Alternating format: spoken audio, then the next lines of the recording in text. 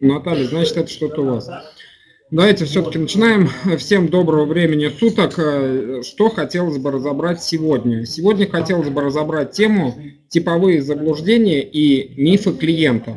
Вот на последнем вебинаре, который прошел в, след... Э, в предыдущий вторник, было очень много комментариев, где видно недопонимание людей самой специфики работы компании «Скала». Вот здесь вот э, хотелось бы дать какие-то объяснения. Ну, первое, с чего мы начнем? Э, это полное списание. Я не знаю, откуда берут это клиенты. На каждом вебинаре, при обучении каждого офиса, каждого агента говорится, что мы только оптимизируем долг. Это фиксируем сумму долга судебным решением и добиваемся рассрочки. Здесь э, в комментариях очень много того, что долг не списывается. Но надо четко понимать, если человек деньги взял, то их надо возвращать. Я недавно на обучении, которое проводил, я задавал вопрос, если вы взяли у друга деньги взаймы, ему надо возвращать? То есть все говорят надо. Но если вы оказались в сложной жизненной ситуации, надо найти тот вариант, когда, который устроит и вас, и вашего друга. То есть э, вы подходите к другу, обсуждаете. В данной ситуации банк навстречу, как правило, и не идет. В, в этой ситуации мы через суд пытаемся найти оптимальное решение. Дальше, вот смотрите, вот, э, и непонятно, откуда берется полное списание. Списать невозможно. И вот здесь вот даже есть такая фраза, что банк выиграл дело, человеку назначено 50% от суммы заработной платы. Это понятно, то есть мы к этому идем, чтобы сумма долга была зафиксирована, человек комфортно с заработной платы выплачивал 50%. Если он соберет дополнительные документы, то эту сумму можно понизить. Опять же, с помощью юристов эскалата. Понизить все зависит от того, какие документы будут собраны человеком. Дальше. Давайте прям вот по разбирать по порядку. Деньги собирают, фактически ничего не делают. Здесь четко надо понимать, в чем заключается работа эскалата. Работа эскалата собирается в сборе документов, проверке, в правильном составлении документов для банков и судов. Из требований документов вот это работа эскалата.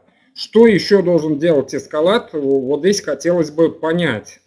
То есть это вы пришли к юристу написать исковое заявление, да, поскольку вы его не умеете сами писать. Вы платите юристу определенную сумму денег, юрист вам составляет исковое заявление. Все логично? То есть вы работу юриста выполнил, он заявление вам составил. Что вы еще хотите от него получить? То есть юрист никаким образом не может воздействовать на суд. И в данной ситуации эскалат – это инструмент в руках клиента. Как он им востребуется, вот скажем так, как тявка. Да, там можно грядку вскопать, а можно у соседа дерево подрубить. И как вы им воспользуетесь, зависит только от вас. Дальше, господа руководители эскалата, вопрос, у вас хорошая команда, маркетинг, но почему ваша компания не оформит договор страхования? Здесь вопрос вообще непонятен, этот э, вопрос, думаю, должен быть адресован непосредственно к руководству эскалата и думаю, право каждой компании оформлять договор страхования или не оформлять. Следующий, дальше опять же продолжаем. Будьте так любезны соблюдать профессиональную этику и попросите ваших агентов бессрочно не критиковать вашу компанию. Сразу хочу сказать, что мы с уважением относимся ко всем компаниям, которые работают в данной сфере. То есть у нас нет даже критики, скажем, не конкурентов, не партнеров. У нас никогда это не допускается. Если это было допущено определенным агентом, хотелось бы знать фамилию, имя, отчество для того, чтобы связаться с этим человеком. Никакая критика, ни конструктивная не допускалась самой компании ни разу. И это в правилах компании. Поэтому хотелось бы четко понимать, от кого исходит, вот я сейчас беспочвенно не критиковать нашу компанию. Хотелось бы четко понимать, откуда исходит критика. Если вы нам напишите «Лада», то, я думаю, ответ будет незамедлительно дан. Дальше, в плане того, что вы не можете посмотреть наличие своих дел. Для этого есть персональные менеджеры. Это услуга компании – который идет как доп. услуга, клиент за нее не платит. Но клиент может связаться с персональным менеджером и запросить состояние его дела на сегодняшний момент. Если персональный менеджер не отвечает, в этом случае есть возможность э, написать выше. Контакты никто не скрывает. То есть есть э, э, руководство отдела персональных менеджеров, руководство отделов ОРА. И если вас не удовлетворяет работа, напишите руководству. То есть сотрудник может попасться разный. И либо по объективным, либо по субъективным причинам будет выяснено, сколько уже было человек, которые скидывали мне информацию. Это фамилия, имя, отчество, ID, буквально в течение одного дня максимум человек получал полную информацию, полную, повторюсь, информацию по ведению своего дела, по тому, что было сделано эскалатом. Полный отчет. Дальше хочу прочитать. Была на суде по иску Альфа-банка. Вопрос такой, зачем вы пошли на суд? везде повторяется, что присутствие клиента на суде не надо. Для чего вы туда пошли? Вы юрист? Вот это вопрос вот очень серьезный. Что вы пришли? Одно неправильно сказанное ваше слово может перечеркнуть всю работу юристов. Поскольку вы присутствуете, вам задают определенные вопросы. Дальше. Судья сказал, что по карте все комиссии, все штрафы, все неустойки законны мы и не ведем речь о том, что мы спишем все. Здесь вообще нет речи. Есть, еще раз вот хочу повторить. Человек берет деньги у банка. Эту сумму в любом случае надо возвращать. Есть процент банка. Банк – это коммерческая организация, которая зарабатывает на том, что дает вам определенную сумму денег. Правильно?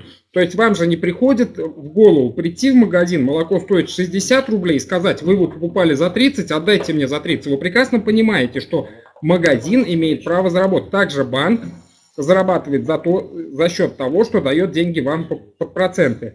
Если вы вовремя не возвращаете деньги, есть определенные штрафные санкции, которые также предусмотрены законом. И вот эти штрафные санкции, эти проценты и сумму, которую вы взяли у банка, не уберет ни один суд. Это абсолютно законные требования банка. Вот это надо понимать. Дальше смотрите что все комиссии, штрафы, все неустойки законны. Единственное, обещала снизить штрафы аж на 30%. Это около 2000. То есть вам законные штрафы, исходя из документов, которые подал эскалат, снижают на 30%. То, что сумма 2000, если бы у вас был бы рубль штрафов, это было бы 30 копеек.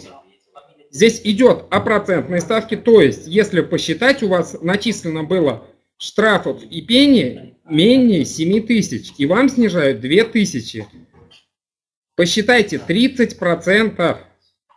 Это очень существенно, и поэтому смотря из какой суммы исходить. Если бы у вас было законно 100 тысяч начислено банков, вам бы снизили 30 тысяч. Если у вас был бы рубль, это 30 копеек.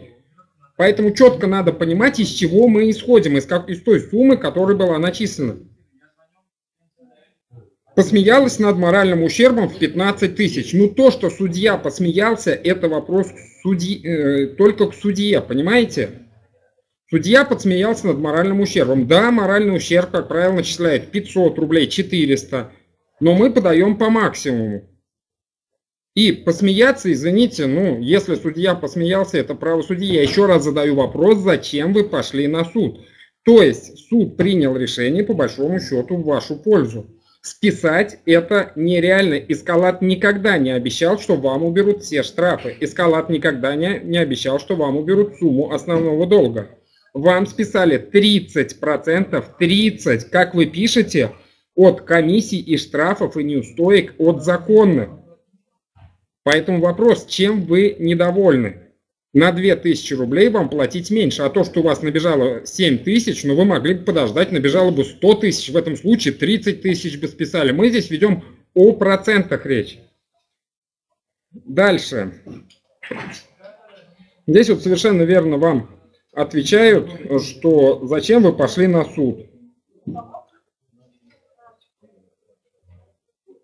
Здесь написано, что выставляет как результат своей работы скан ответа погашенного кредита мной за родственника. Мол, мы этого добились. Каким образом можно понять, что мы выставляем ответ? Ни одного, я еще раз повторю, ни одного как, каких-то персональных данных мы не даем. Каким образом вы сделали этот вывод? Мы не имеем права публиковать персональные данные клиента. И вы пишете, что это сделали вы. Ну, тогда это ваше дело обосновать. Но в данной ситуации на основании чего принято такое решение. У нас подписывают доверенность э, и так далее. То есть, кроме доверенности, клиент подписывает договор оферты. Это договор присоединения. Договор присоединения гласит, что есть определенные правила, по которым клиент имеет право либо их принять, либо не принять. И те правила, которые клиент подписывает, они идут как договор оферты, и ваше право подписывать их или нет. Дальше пишут, просто нужно понимать, что нет такого закона, по которому можно было бы не платить кредиты. Нет такого закона. Мы еще раз повторяем, такого закона нет. Но есть законы, по которому можно убрать какие-то незаконно начисленные вещи, если можно доказать, что они незаконны. Еще раз повторяю, если можно по документам доказать. И зафиксировать сумму долга, зафиксировать сумму долга – и добиться для клиента рассрочки. Читаю дальше. Может обыватель сделать это сам. Я на каждом обучении говорю, что обыватель может сделать это сам. Давайте возьмем в пример уголовный суд. Человеку грозит уголовная ответственность. Давайте возьмем третье лицо. Человек может защищать на суде себя сам, а может оплатить услуги адвоката. Для чего оплачиваются услуги адвоката? Вопрос. Для того, чтобы получить грамотную юридическую защиту. Согласны? То есть человек может прийти в суд и защищать себя сам, если он считает, что он компетентен, если он считает, что добьется того результата, который ему нужен, ради бога. Либо человек может оплатить услуги профессионалов, и в этом случае он уже задает вопрос, задача профессионалов, в данной ситуации задача эскалата.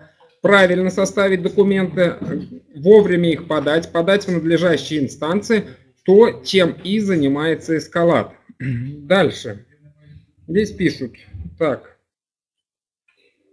Вы обещаете полное списание, это даже у вас на сайте написано. Покажите мне, на каком сайте это написано. То есть, э, вы знаете, вот идет полнейшая дезинформация. Выйдите на официальный сайт Эскалата и покажите, где стоит фраза «полное списание».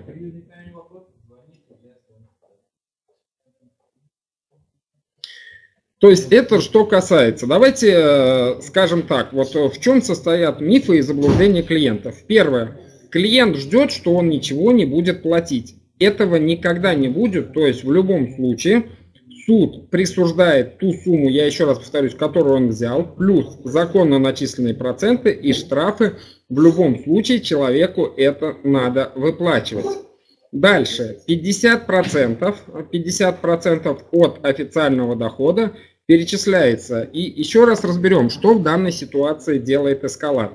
Эскалат собирает документы, вовремя подает их во все инстанции, Первое, что вот хочу понять, вот у людей, особенно на первом этапе, складывается мнение, что э, долго тянется работа. Вот на первом этапе это особенно непонятно, потому что отправляются документы в банк, после этого отправляются документы в суд, но в любом случае человек может позвонить персональному менеджеру и получить отчет, на каком этапе его дело.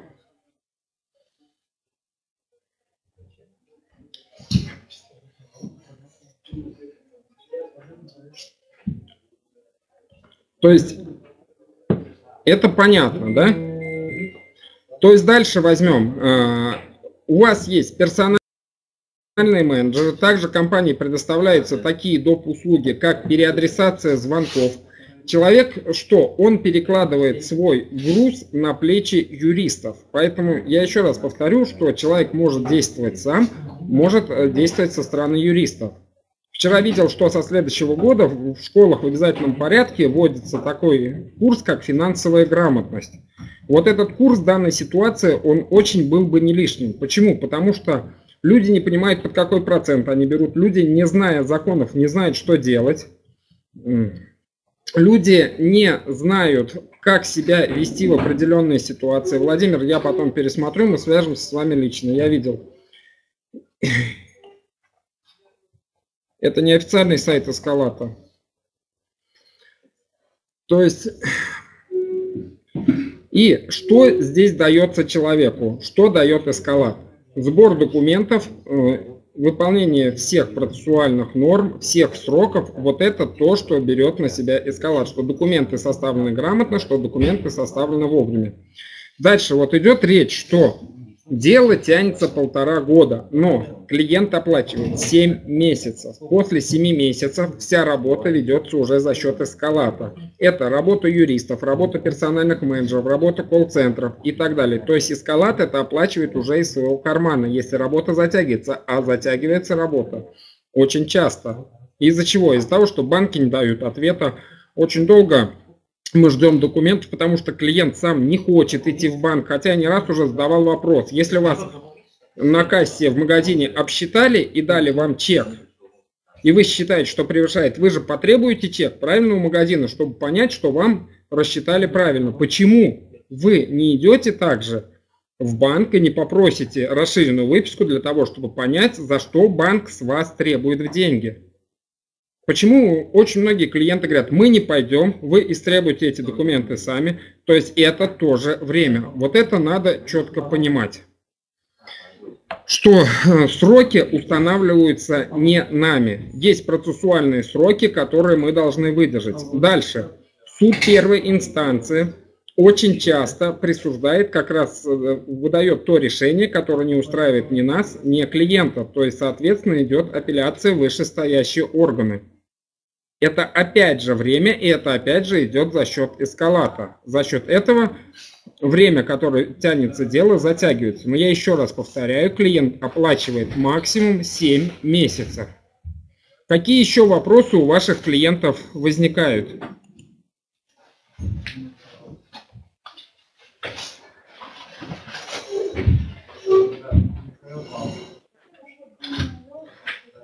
Алиса, отправьте мне копию документа ВКонтакте. Через группу можно выйти. У меня одна страница заблокирована. Выйти, выйдите на вторую, пожалуйста, и отправьте мне документ с ошибками.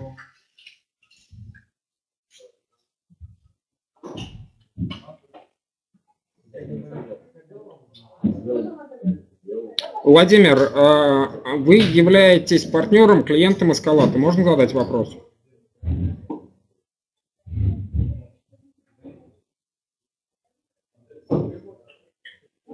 В личном кабинете максимальная оплата это 7 месяцев. Вы это можете убедиться. То есть, если кто-то берет больше, это, соответственно, нарушение. Вы можете про это что-то сказать, Владимир?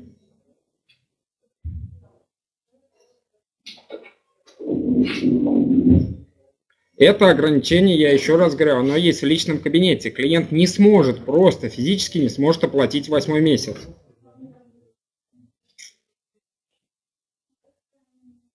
Если клиент стал под защиту с договором цессии, сколько он оплачивает и какую сумму? Клиент оплачивает ту сумму, которая э, проговорена везде, то есть исходя из суммы, которую, которую он должен банку, и, соответственно, сколько он оплачивает до решения его вопроса, но максимально также 7 месяцев. Если дело решится за 3 месяца, значит это 3 месяца. Если дело решится за 12, то 7 месяцев оплачивает – да, остальное 5 месяцев это ведется за счет эскалата.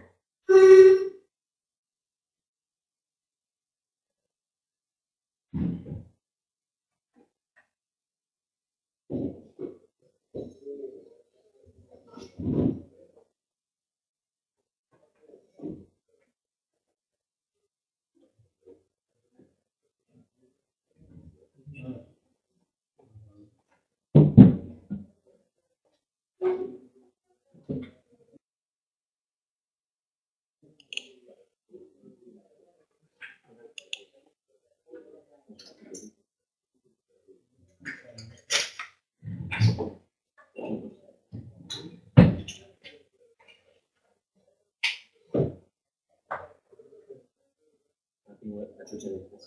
Князева Алиса отвечает, документ уже исправлен либо нами, либо самими юристами. То есть всегда есть человеческий фактор и какая-то опечатка возможно всегда. Если вы увидели, всегда э, вы можете выйти на официальный сайт Эскалата, там есть в случае неправильно составленных документов, куда написать жалобу.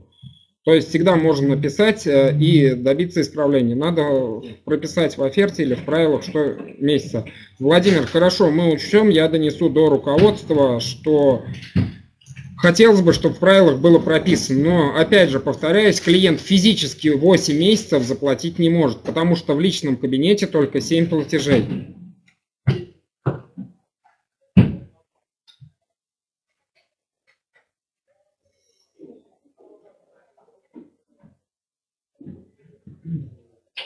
Так, Ирина, если клиент испугался и по одному из банков сделал реструктуризацию, это не совсем по адресу по сегодняшнему вебинару вопрос.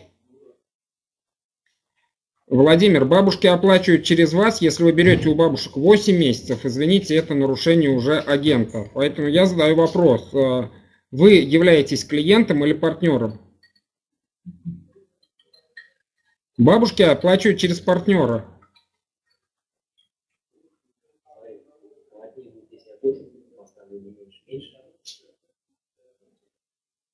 Они партнером. Кто они, Владимир? Вы непосредственно кем являетесь?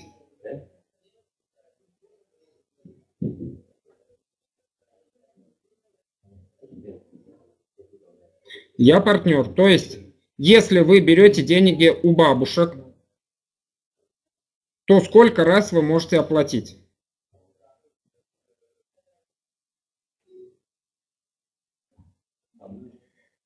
Мария, вы знаете, если так рассуждать, то обмануть можно. Это зависит от недобросовестности партнера. Можно вообще брать деньги, я не знаю, там, без личного кабинета, без документов. Сейчас вы выдаете каждому клиенту чек, квитанцию, да, то есть клиент видит, что он оплатил, за что он оплатил. И поэтому, если так рассуждать, мы сейчас обсуждаем, как обмануть бабушек или что должно быть написано в документах. Вот этого я не понимаю. Если у нас идет обсуждение, как обмануть бабушек, я думаю, не совсем туда все попали.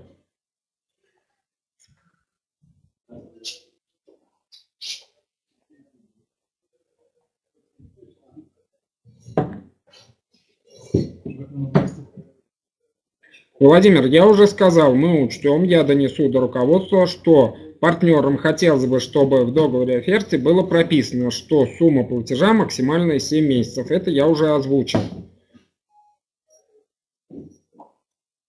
Какие еще есть вопросы у ваших клиентов, которые касаются работы эскалатора?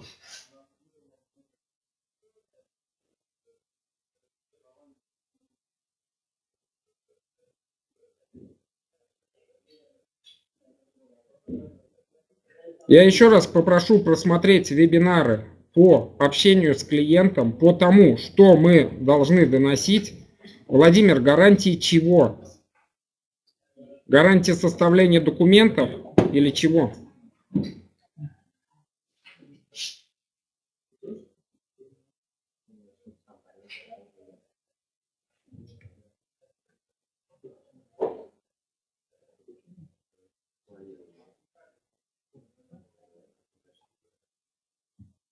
Я еще раз прошу, еще раз повторяю, прошу посмотреть вебинар, презентация, что мы даем клиенту консультацию, бесплатную, еще раз повторяю, консультацию, как он может сам себя повести. И объясняем, этично объясняем, что может взять на себя эскалат. Ни в одном вебинаре речи о полном списании не идет. Речь идет о составлении документов. О каком результате вы заявляете? Можно? Александр Жихарев. То есть э, в правилах, э, если вы прочитаете э, дальше, то написано, что, то там прописано, что это является, эти правила являются договором оферты.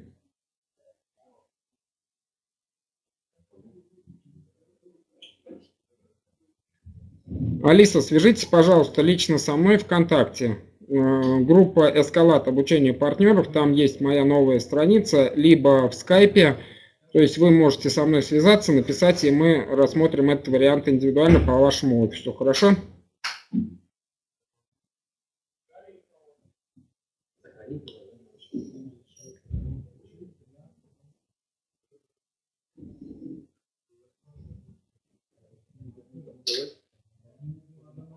Хорошо, Александр, этот вариант мы тоже рассмотрим. Но в то же время, даже оплачивая за телефон, ваш клиент подтверждает правила оферты, и он никогда не смотрит, правила там написано или договор.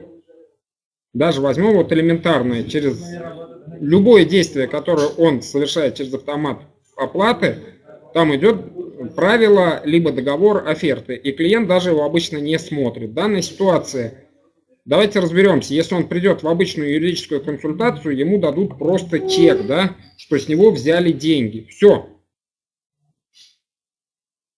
Это в 90% случаев. Если заключается на длительное, да, то есть там будет дан юридической консультации какой-то определенный договор. Э, Владимир, давайте разберем. Комфортная рассрочка через ФССП. Мы доводим до этого клиентов. Александр, я не понял ваш вопрос, тем не менее, я вам уже ответил, что я донесу до руководства, что партнеры хотели поменять слово «правило» на «договор». То есть я на ваш вопрос ответил.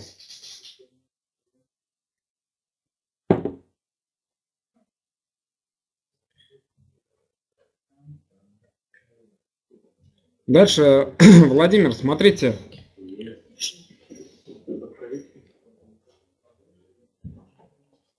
Владимир, я не понимаю, кто он спрашивает о гарантии. Что является гарантией для вас? Я еще раз говорю, что берет на себя эскалат? Эскалат берет на себя составление документов. О каких гарантиях вы хотите услышать? Какой юрист даст вам стопроцентные гарантии завершения суда? Озвучьте мне, пожалуйста. Покажите мне такого юриста который даст стопроцентную гарантию. Не 99, не 99,9, а стопроцентную гарантию. Есть такой юрист? Поймите, что мы проходим через процедуру суда. И мы за клиента боремся до решения, которое устроит э, нашего клиента. Но что суд той же первой инстанции 100% вынесет то, что устроит, или после первой же апелляции мы получим, мы не можем дать такой гарантии. Это никто не может дать. Это то же самое, когда человек болеет и, скажем так, очень серьезно болеет, у врача требовать стопроцентной гарантии, что он его излечит. Насколько это будет логично, какой врач это даст?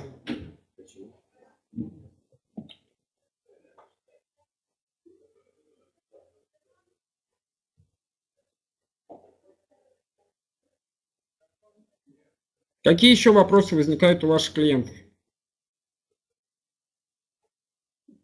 Не персональные, а общие, которые касаются компании Escalade.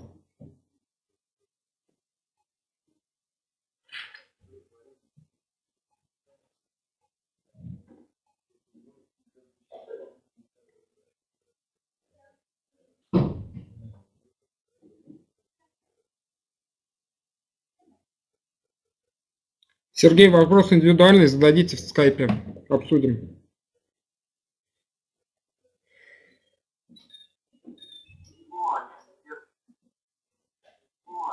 А также эскалат будет работать точно так же, даже если судом разрешена продажа третьим лицам, то работа компании также доводим до фиксации суммы долга и то, что клиенту дается рассрочка. Максимально, что может назначить суд, это 50% от суммы официального заработка. И дальше это будет снижение, если клиентам будет собран определенный пакет документов. Если он его предоставит, то здесь речь идет о снижении. О снижении процентной ставки вы можете посмотреть на официальной э, группе компании «Эскалат».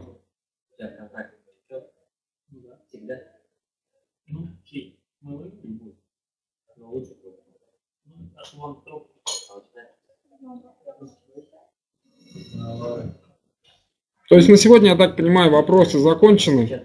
Э, хотелось бы, чтобы четче объясняли клиентам, в чем заключается работа компании Escalade, в чем наш функционал, что непосредственно нами делает, что, на что имеет право клиент, что клиент может запросить отчет о ведении своего дела, это без проблем, отчет ему будет предоставлен.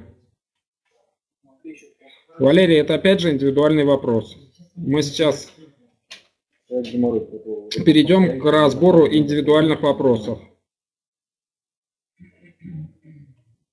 И поэтому очень многое зависит от вашей консультации. Вот я очень со многими офисами общаюсь.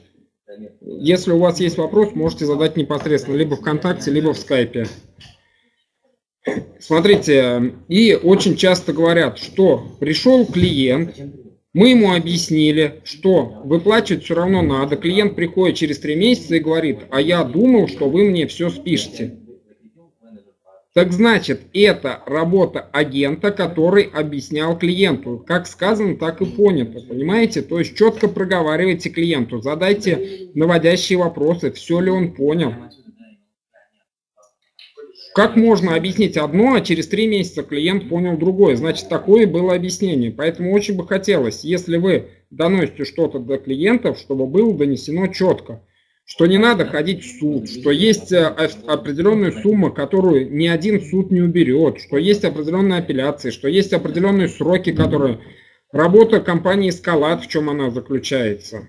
Обучение проводилось со всеми офисами. Поэтому я думаю, на этом э, мы сегодня попрощаемся. У кого есть индивидуальные вопросы, вот там у Сергея, у Валерия, то есть можете задать мне их либо в группе, либо в скайпе, для того, чтобы я, либо Владимир, если у вас есть какой-то, также можете писать на то, чтобы я ответил. На этом всего доброго, до